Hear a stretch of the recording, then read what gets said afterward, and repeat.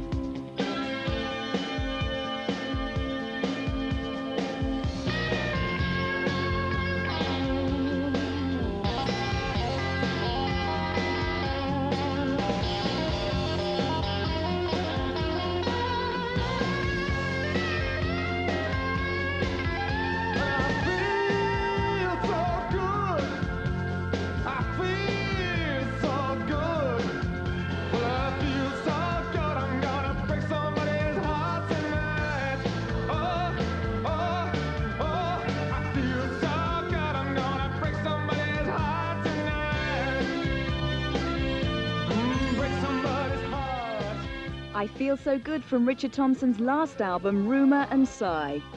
But now, Richard Thompson scores his highest ever album chart position with his brand new album, which went straight in this week at number 23. Here, exclusively for the album show, is Richard Thompson and friends performing tracks from that album, Mirror Blue.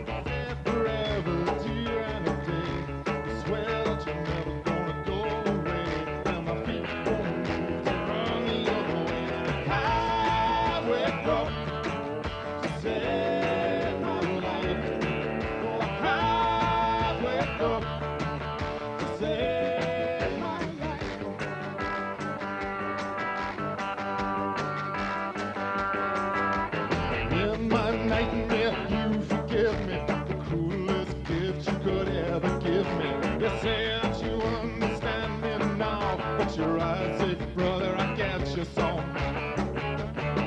and then the lightning streaks across the room the smell like something fresh from the tomb. I squeeze too hard you insist on kissing. It seems like half your face is missing and your hair's trying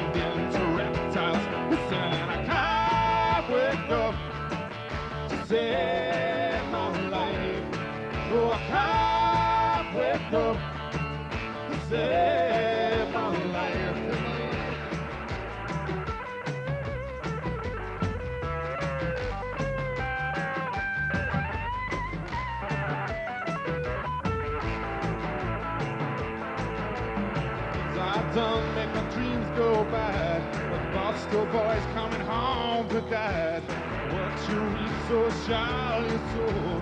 Beats don't fail me, don't man go. Cause I can't wake up to save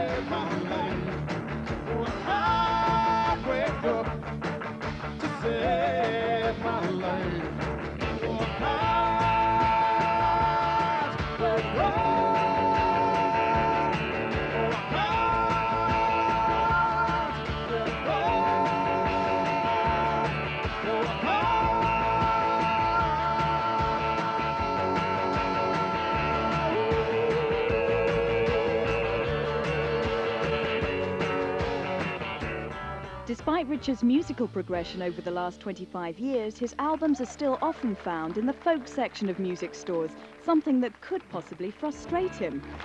I think anything that confuses the record industry is probably a good thing. No, I, am absolutely serious about that. Um, because when the record industry doesn't understand how to market the music that's being created, then that means that, that it's a breakthrough and there's something new created. You know, when um, when psychedelia happened, you know, in 1967, uh, record companies uh, just didn't have a clue what was going on. So they, they, signed everybody, you know, absolutely everybody had a record contract. And, uh, you know, it took them a couple of years to figure out how to market it, and, and then they did. Uh, and it's the same with punk, you know, it was the independent labels that, that, that had all, all, all the, uh, you know, the, the, good punk bands, and, and it took the industry a while to, to figure out, oh, this is, you know, this is the way it works, this is how we market it, by which time it was dead.